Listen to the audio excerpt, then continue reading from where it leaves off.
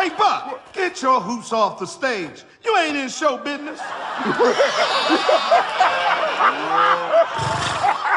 what? Were you raised in the barn?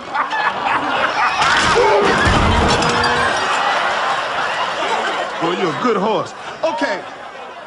What you looking at? Turkey? Somebody pass me the cranberry sauce. Dead turkey walking. Gonna die, but we don't know the date. We know your date.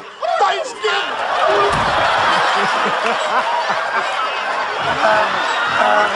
okay.